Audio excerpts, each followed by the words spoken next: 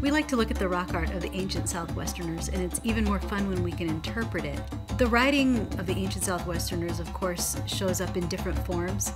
It's in the pottery, it's in the basketry, it's on the rocks, sand painting, ceremonial objects. You'll often hear me banging on about the Huichol.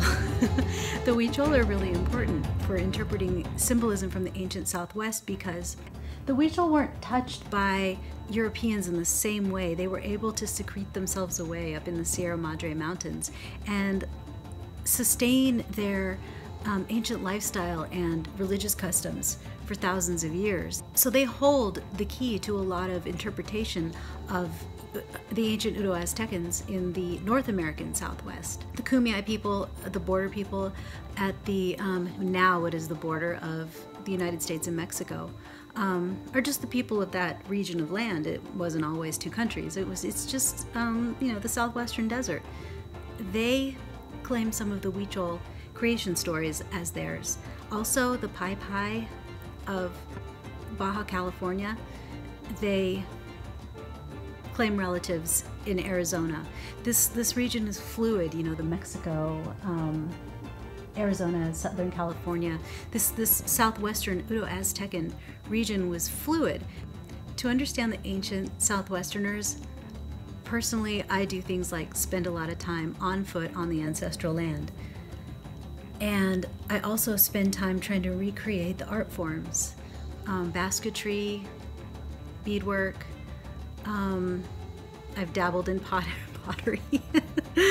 um, just trying to recreate some of the, the rock art with unwieldy tools or unwieldy pens on paper to kind of reproduce these images. And then I look to the ethnographic record to see what they mean. In another video I made about the eye of God and what that means to the Huichol, I, I talk about the front shield and the back shield and these ceremonial objects that are circular in nature with uh, imagery on them. This video is about the front shield of Mother Eastwater and some of the images that are on her front shield as sketched by Carl Lumholtz in the 1800s.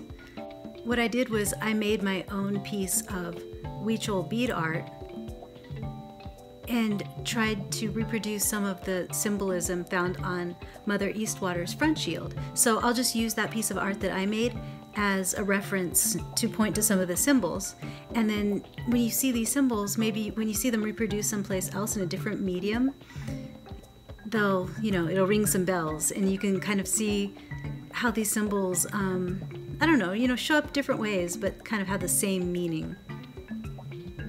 God's eyes, or eye of God, are ceremonial objects that are described as front shields of a particular deity. And these are two examples of front shields of Mother Eastwater that were found in the cave of that mother um, near Santa Catarina in Mexico. And these were sketched by Carl Lumholtz. So, what I did was I tried to produce some of the imagery in this particular shield, mostly because it's really geometric compared to this one, for example, or even I'll show you some others like that, that. These are all Mother Eastwater. And I thought, uh, yeah, the, the more clearly geometric one would be easier to try to reproduce.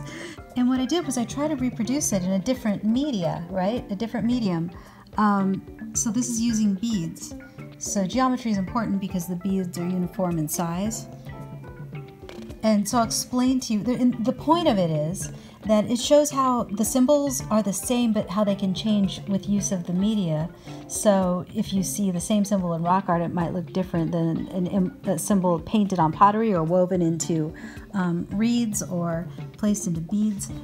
Okay, so this front shield has the white portions in the middle. These are clouds rising. And I tried to create that clouds rising. So surrounding the clouds, these are birds soaring above the clouds. The darker ones are red birds. These are bluebirds. In the original artifact, this had color. So here are the bluebirds and the red birds. And the kind of bird they are is a swift. So these crosses that surround the clouds and the birds are um, corn, various colors of corn. And I tried to recreate that, but because of the medium I'm using has a certain particular geometry, um, I made the crosses, you see.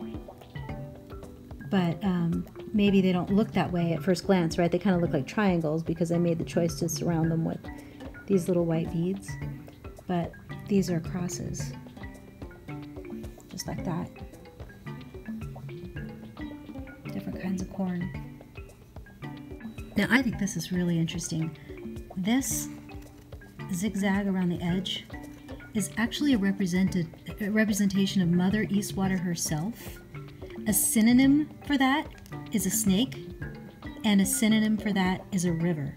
It's showing the undulating energy of Mother Eastwater as represented by both a snake and a river.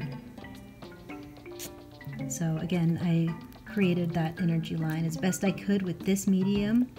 Um, and I, I even gave the snake some eyes.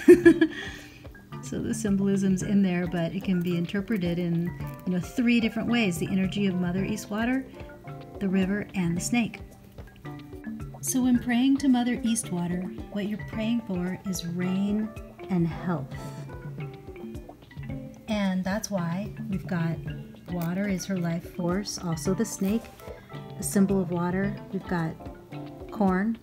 I also took see this is a this is a a design feature that Lumholtz didn't explain, but I went ahead and put in. Sometimes this is explained as um, like a, a, heart line of energy. You'll see this in other um, Huichol art. They'll have this kind of line or a zigzag right in the middle of their body, and it just kind of shows their heart line of energy. And since I saw that in this one, I went ahead and tried to reproduce it. So just to take a moment to let you know that I'm actually making these. I make these for a hobby, but because I make so many, I have to do something with them. So I'm also selling them, and it funds my um, you know, book buying fetish, such as this and others that inform a lot of the, the videos I make for this channel. And I have some other items um, made in the Huichol style that are for Christmas and uh, animals and Christmas. They're all Christmas tree ornaments or just, you know, nice shelf ornaments. And you can check them out at my website, theancientsouthwest.com. I hope you understand why I chose to do this exercise and why I chose to show it to you. The more different ways you can see a symbol reproduced, the more familiar it becomes, and the easier it becomes to see what was happening in the minds of people who came before us. I enjoy it. I hope you do too. Thanks for watching.